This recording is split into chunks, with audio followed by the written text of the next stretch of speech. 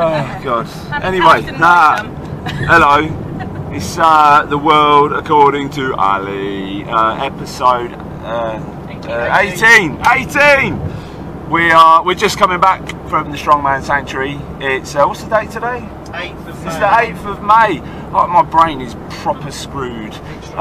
Because, uh, yeah, we've just been competing in the Masters uh, Strongman uh, and Strongwoman competition. It was fucking wicked! It was fucking wicked. I had a fucking wicked time. Um, yeah, it was brilliant. I've got, um, oh, fuck off, twat. Telling him to fuck off, not you. Um, but yeah, um, yeah, it was awesome day. Really sunny all day. I've got a tan.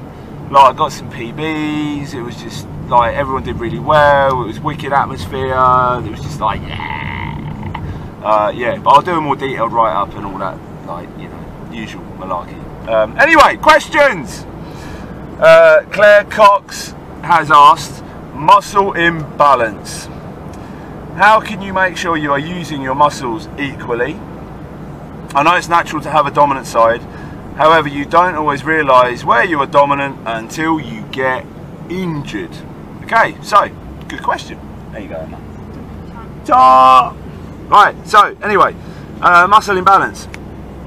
So, what you've got is um, uh, a question really about, you know, sort of performance and health. And um, you've got two things to sort of well you've got one major thing to factor in. Like for example you've always got a dominant side. So you're never going to be perfectly symmetrical okay? And um, you shouldn't expect to be symmetrical because not only have you got a dominant side which is often down to you know the, the two halves of the brain but also just how you're born you know you were born squishy right? And as you get older and develop you know all the process of the uh, you know the body developing it's not going to come out as a perfect mold so you're never going to be symmetrical. So you're always going to be you know slightly off and how your body compensates through that will come through time.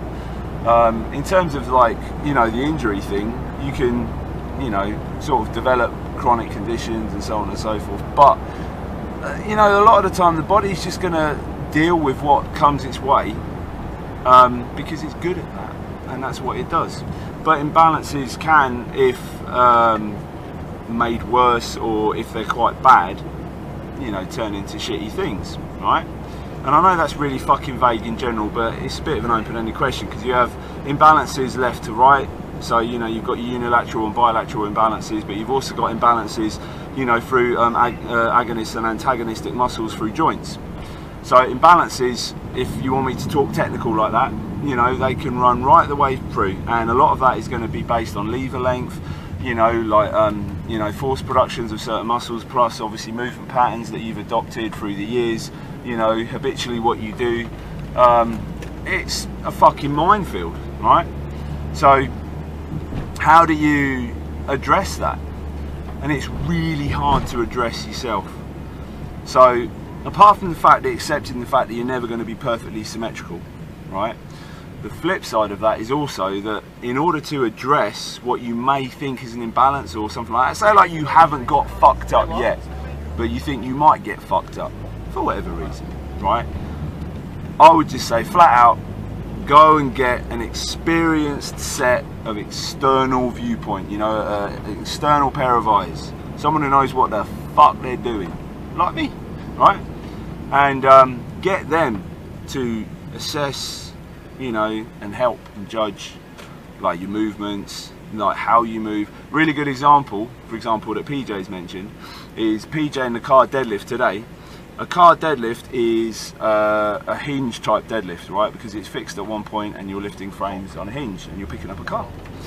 And what PJ did was um, she used all quads, right?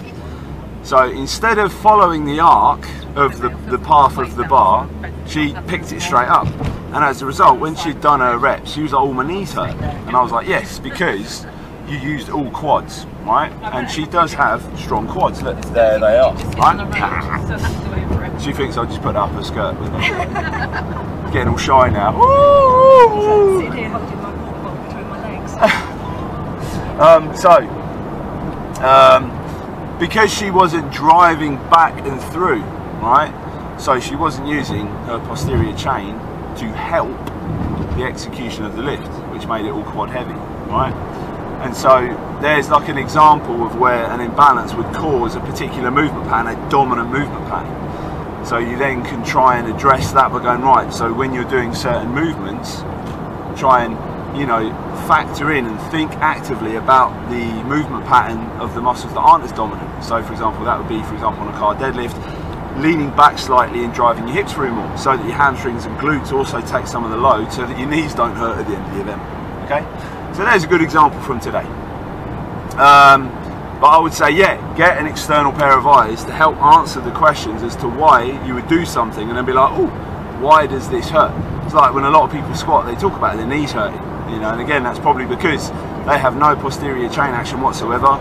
You know, they're just trying to bring their knees forward, and you know, they so on and so forth, right? So, yeah, apart from accepting that you're not perfect, you're not symmetrical, we're not all beautiful snowflakes. You know, we're a lot of the time born as a fucked up spaghetti hoop, and you know, it ain't going to be perfectly round or Yeah. symmetrical or whatever the fuck it is, right?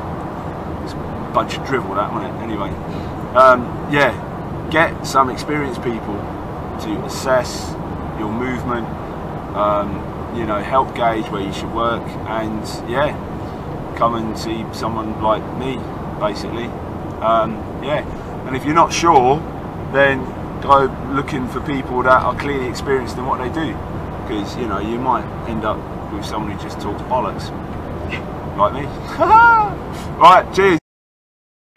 We have another question because you lot fucking suck. and you only asked one fucking good question. And there was that stupid question from Sam Langthorne saying, Why is there a skeleton hanging on the door? It's because it was Halloween once and it's fucking cool.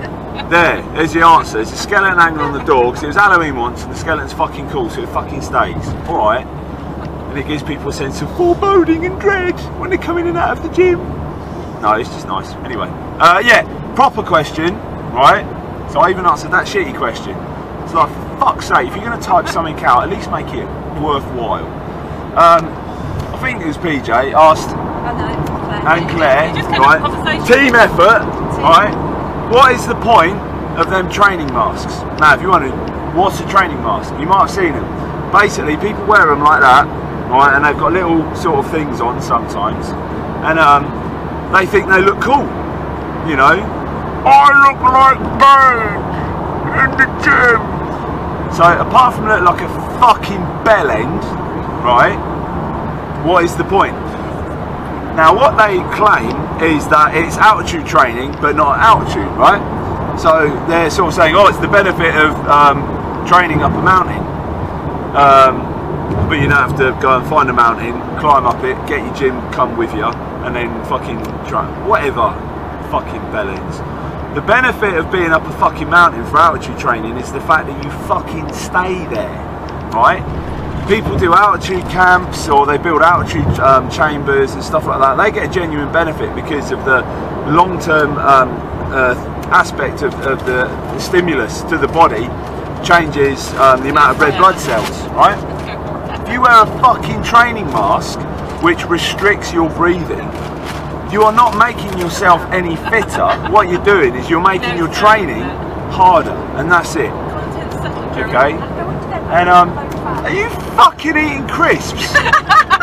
No! whilst wearing a training mask. No! Fuck, that'd be funny. Fuck, yeah, all right, yeah. I, I, that's it. To stop you eating fucking sweets and crisps, we'll buy you a fucking training mask and we'll super glue it in place so you can't eat your fucking sweets and then fucking ask me questions about fucking weight loss. Ah! They're a Being digested in the vegetable. Fuck off! This is one of my five a day! You sound like a fucking McDonald's employee. Emma, next time, Pringles.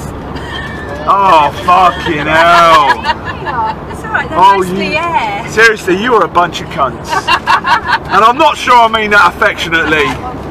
Anyway, uh, yeah, so training masks, right? Oh, fuck off. Got wine gum. She offered me, yeah, I'll have, I'll have a wine gum, yeah. wine gums count, because they're booze. No, not really. Um, what the fuck was I talking about? Training mask. Fucking training masks, that's it. Right, they're bollocks. Okay, thank you very much, Claire. Ah. Alright. Just had a crazy Um, nice combination. Yeah, training master bollocks because you're not wearing them for long enough to cause the actual adaptation of altitude training. All they do is make your training harder while you wear it. So in other words, what you're going to do is you're going to um, basically have less work capacity in the training session. You're probably going to suffer from fatigue quicker, which is probably going to, you know, um, cause degradation of technique and speed and so on and so forth, right? So you're fucking detraining yourself, you prick, as well as looking like a prick. What's the fucking point? Unless you actually sound like fucking Bane when you wear one, what's the point? And I suppose what's the point in? No, I don't know. Anyway, yeah, they're bollocks, right? So um, there you go. That's the answer. Training masks are bollocks, and people wear them because they don't know any better.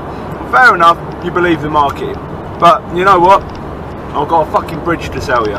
Bye.